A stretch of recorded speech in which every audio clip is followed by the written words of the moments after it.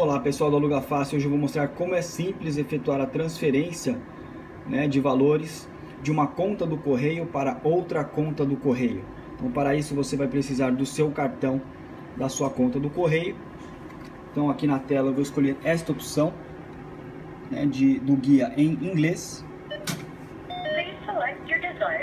Aqui eu vou apertar aqui este botão. E agora eu vou clicar aqui na tecla Enter. Eu vou inserir o meu cartão com essa seta voltada para o caixa.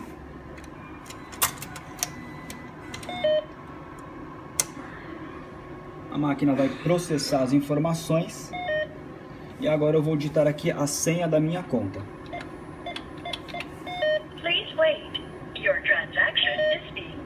Bom, agora eu vou digitar o número da agência né, a qual, para a qual eu vou transferir o valor. Tá? Então eu vou digitar aqui o número da agência.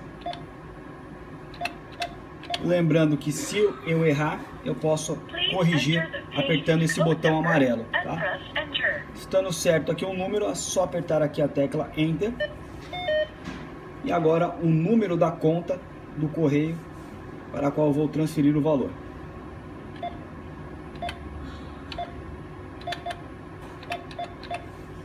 Novamente, tá? Se eu quiser corrigir é só apertar o amarelo, se não, só apertar aqui o botão verde.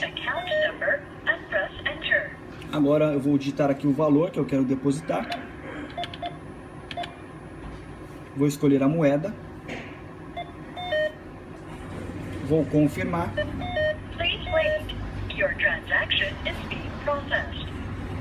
Então vou apertar aqui o Enter novamente. É só confirmar as informações.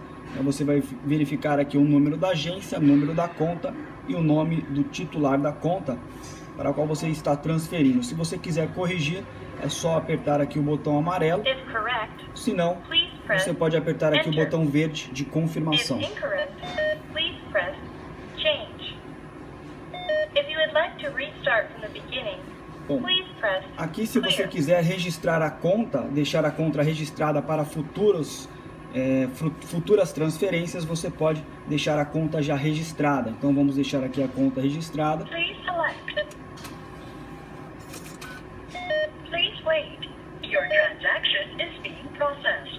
Bom, então já está tudo certinho.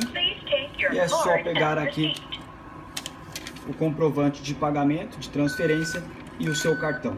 Certo? Espero que esse vídeo tenha ajudado. Muito obrigado e até o próximo vídeo.